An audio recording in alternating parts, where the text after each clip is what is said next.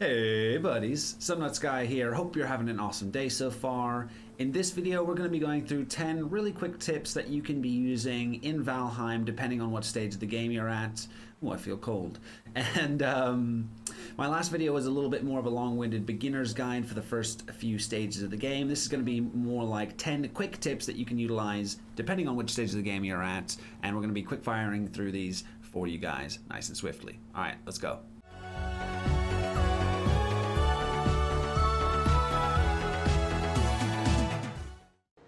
Tip 1. You can see your active buffs here in the Raven to find out what they are doing for you. Rested is a fantastic buff. So tip number 2 is be rested all of the time. Rested gives you a bonus 50% health regeneration and a bonus 100% stamina regeneration. You gain a rested bonus by resting near a campfire. If you rest in your home, you can have an increased resting bonus by increasing the comfort value. You'll see in the top right corner it says resting comfort 5. That should give me a 12 minute rested bonus.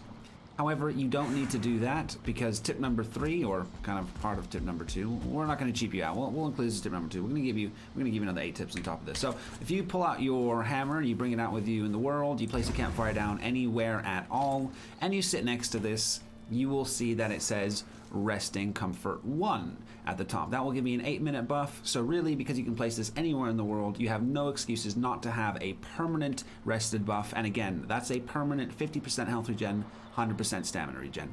Phenomenally valuable, no reason not to have it at all times. Alrighty.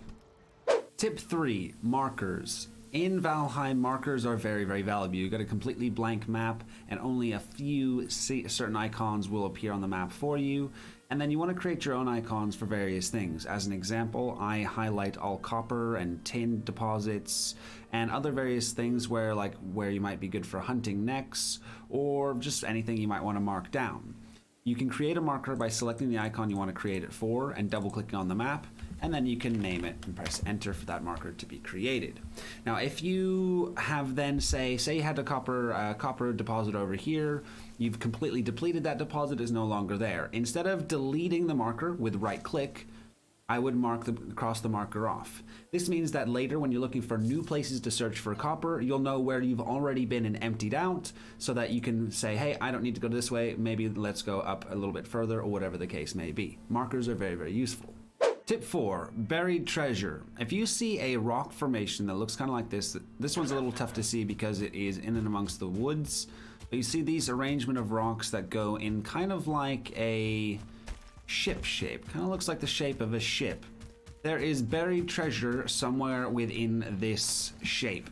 So what you're going to want to do is start at one end probably and just mine your way down a little bit. Now in this game you cannot create tunnels, so if you start mining down, you will then, and then mine straight, you'll pretty much be mining at the same level, although it will veer slightly upwards a little bit. So, oh, and look, we're very lucky. So we've just been hitting this a little bit and we found the chest. There is one chest and several skeletal remains. The skeletal remains just give you bones, which you can also get from skeletons. So once you found the chest, don't bother uh, picking out the rest of it. And, uh, and that was actually really nice and easy. Sometimes you might have to uncover the whole area to get the chest. Tip 5, quick one. You actually run slightly slower with any kind of weapon out. So if you're holding a bow or an axe, you will actually run 5% slower. It shows there at the bottom of the screen, 5% slower, and it will also show you your total uh, reduction of movement speed depending on what items or gear you're using at the time. Tip 6, Burial Chambers. Burial Chambers are these like little dungeon looking things that are dotted around the map. There are many, many, many of them, and they have some of the core components that you're going to need to progress through the game.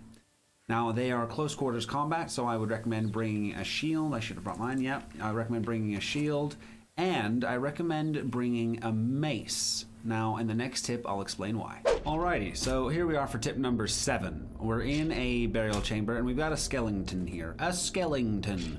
Um, and the this tip is all about different types of weapons, different types of damage, and how they affect or how uh, how they uh, interact with different types of enemies.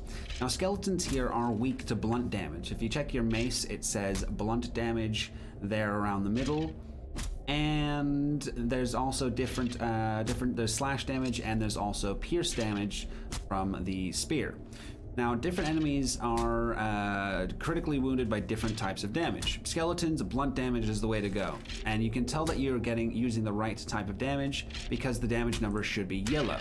You see that yellow 31? That means that it's the right type of damage. Now, if I switch to my axe, which is slash damage, hey, stop running away. You'll see I hit him for a white number. That means it's unaffected.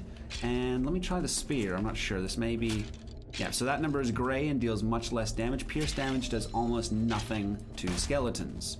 Yellow is for good damage, white is for standard, and gray is for terrible. Alrighty.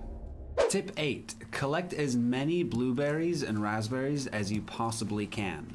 Because blueberries and raspberries can't currently be farmed, so you'll want to hold on to as many as you can because they'll be used in ingredient as ingredients for later stages of the game food.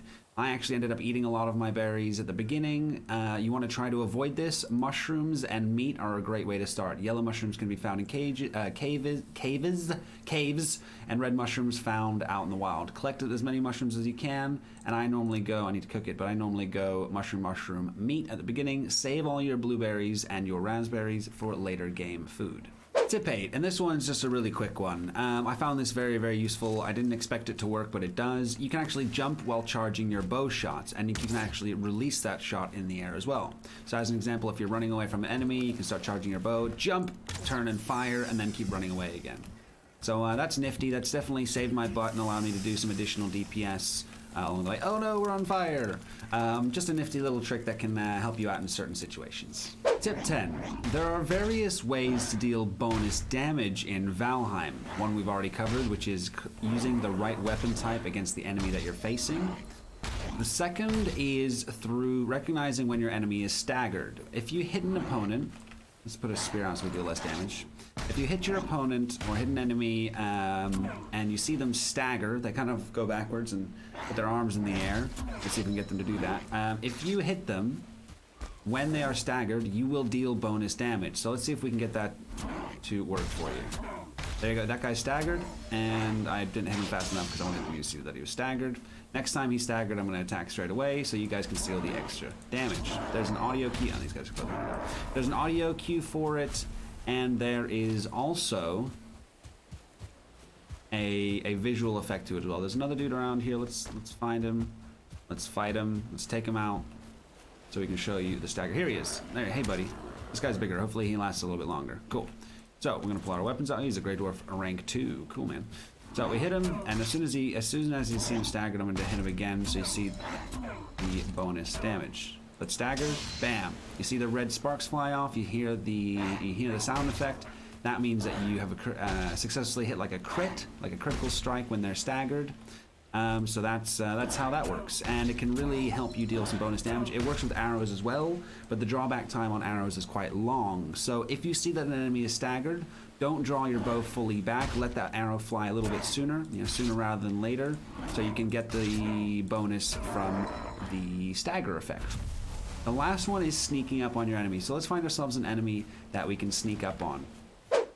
Alright, so we got a couple of dudes coming towards us here. We're to try and backstab one of these guys. So they're to go around that side of the rock. I'm to sneak around. Ooh, they're to split up. Oh, they're splitting up and going around either way. These guys are geniuses. Alright, now they, they didn't see me. I'm still sneaking.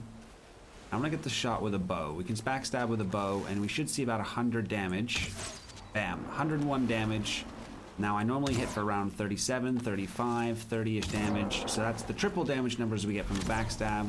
The melee backstab works the same way. As long as you are undetected, the target that you're hitting has not detected words detected you, i.e. they don't have that red exclamation mark above their name, then your backstab will work and hit for 30 uh, triple damage. Some weapons do more than that though. So if you want to be a sneaky ninja, if you want to be a sneaky ninja, Grab yourself a dagger, improve your sneak skill.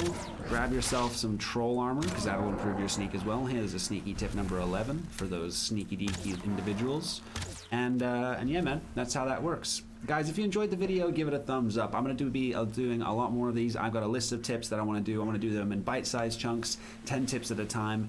Do them quickly, concisely, not like the long-winded first sort of beginner's guide I did, but quick and concise tips that you guys can utilize straight away, depending on what stage of the game that you are at. So yeah, subscribe for more content like this. We'll see you in the next one. Take care.